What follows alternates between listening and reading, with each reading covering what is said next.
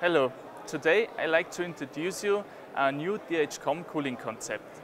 The problem with cooling is that it generates additional costs because the assembly process becomes more complicated and usually you need to buy a special expensive heatsink for one specific computer on module.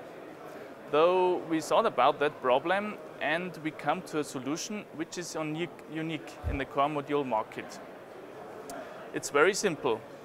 Uh, we mount the CPU on the bottom side of the core module and in addition to that we had the possibility to dissipate the heat via a copper or maybe a gap pad to the mainboard hardware. You can buy the needed copper pad directly from DH Electronics.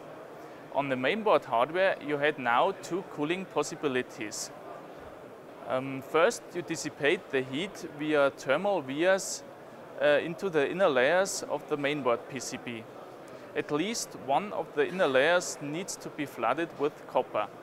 Typically, the customer should use the ground or the VCC layer.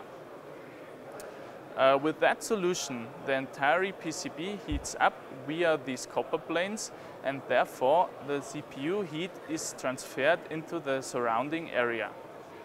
The second solution would be to dissipate the heat with thermal vias on the mainboard bottom side.